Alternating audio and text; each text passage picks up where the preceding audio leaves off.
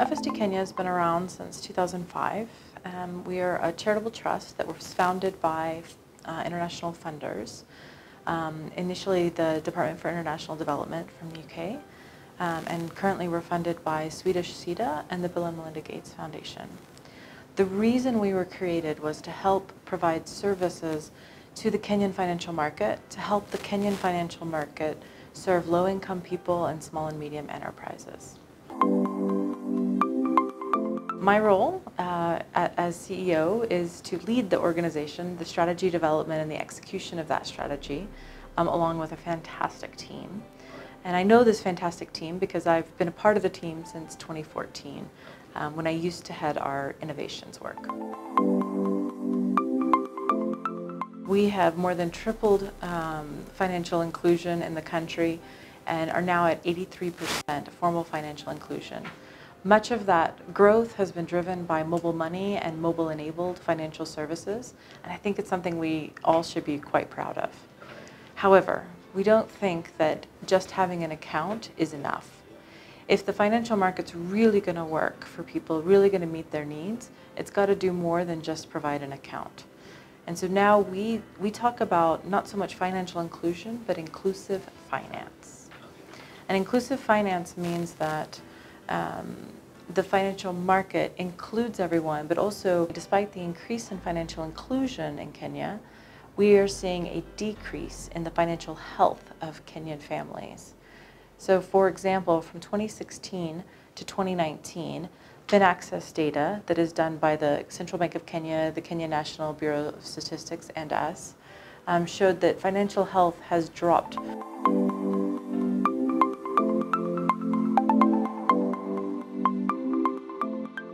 It helps people receive an income. It helps people send money to help their friends and family from across distances. It helps people manage risks, whether it's insurance or other types of service that helps people when they're down. And I think it helps businesses grow. And we see that businesses um, need lots of different kinds of finance.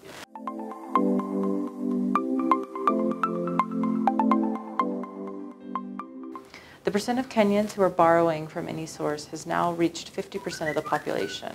And in a lot of ways, that's a great thing. Access to credit is often a constraint for families. It's something that holds them back. It holds businesses back. But credit needs to be matched appropriately to the need that it's being served. And uh, especially, it's most effective when it's helping uh, with productive uh, growth of a family for example, being able to borrow for expanding a business or education.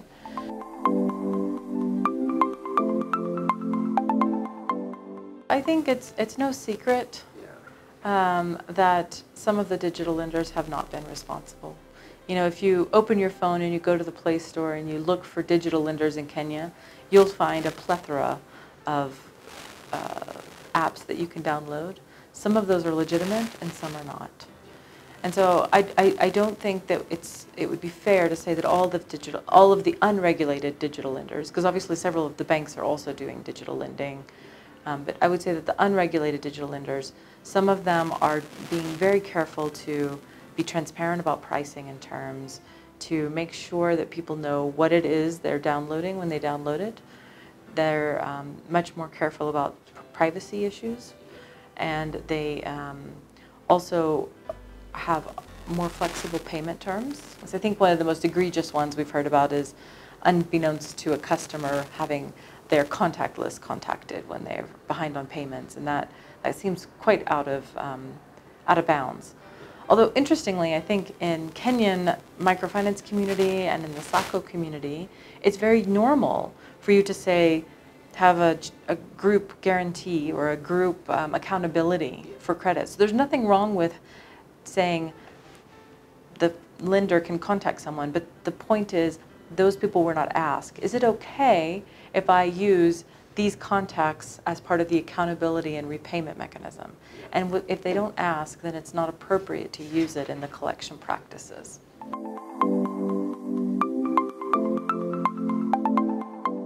So I'm not an expert on interest rate caps, but from, my, from what I know, uh, there have been very, very few, if any, examples of rate caps that have really achieved what they wanted to. I would say the one exception is that there are a couple of countries who have something that's called a usury cap, and that's different than a rate cap because it's saying that there's this number way up here that nobody, under any circumstances, should go beyond. one of the problems of interest rate caps is that it prevents lenders from being able to make risk-based lending pricing decisions. So there's some people right now that the banks say, I can't lend to at this rate, but I would be willing to lend to at this rate based on the historical data of this type of borrower, of this specific borrower. And so I think interest rate caps that are looking at usury, which is egregious and over-lending, can be very powerful. Um, but interest rate caps that are set um, very close to the cost, the price of government paper are not going to be effective.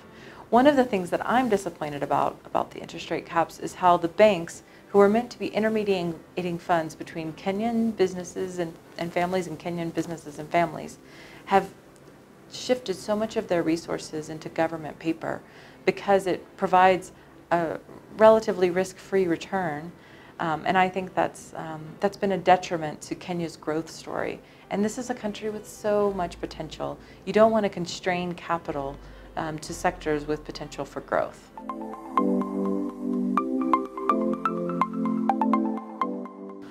So I think it was a huge huge development in the market when the banks not only provided negative credit data, but they provided positive data. And that story has not been perfect. Not all of the data has got in there when it needed to, and I think there's still some um, kinks being worked out in the system. Whether it is or not, I don't have the data to verify. Um, anecdotally, I've heard positive stories of people who've been able to leverage positive um, repayment on a non-traditional uh, loan to a more traditional loan. So for example, positive data on my SACCO loan contributing to a positive decision on my uh, bank loan. You know, uh, many years ago, I was a credit officer at Equity Bank, and I uh, remember very fondly that we would have to collect all this paper to approve a loan. And one of the pieces of paper we always had to collect was the bank statements from someone, or if they had other loans, right? But especially those bank statements. In paper format, stapled together with stamps and signatures. The banks have all that data digitally. Why can't that data flow from one bank to the other without the credit officer having to make a big folder with lots of pieces of paper in it. And so if we could find ways of not just getting the positive credit data, but all of my banking data, then I think that the banks will have a much fuller picture of who I am and my credit capacity and would be able to make better lending decisions that are good for them and good for me.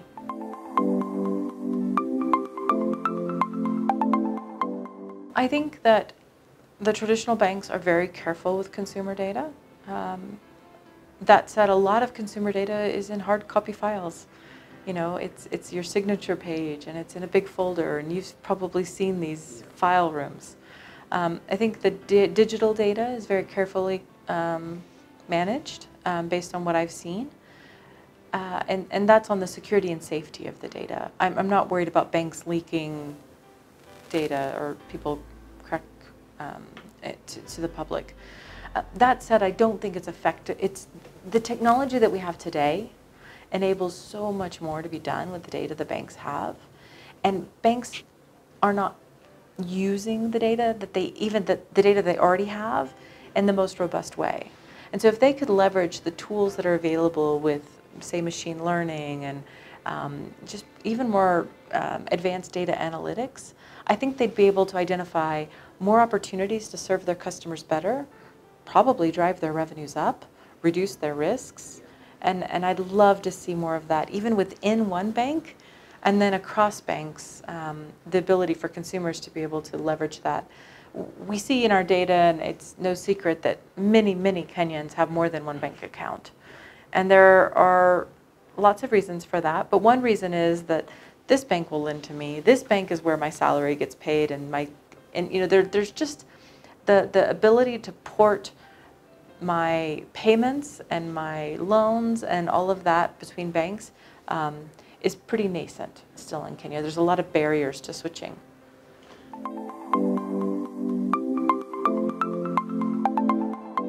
I think it's good that there's a live conversation around data privacy and consumer protection.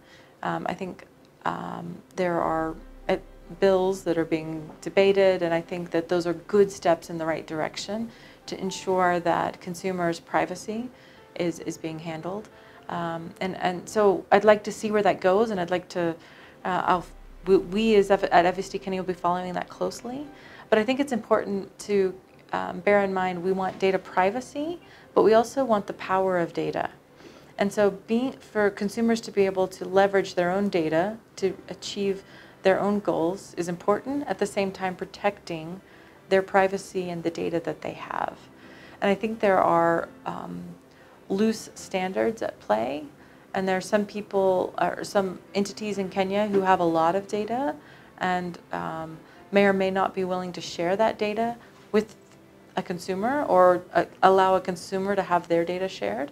Um, and that's something we'd love to see develop as this, um, as Kenya catches up to the global conversation on um, data protection.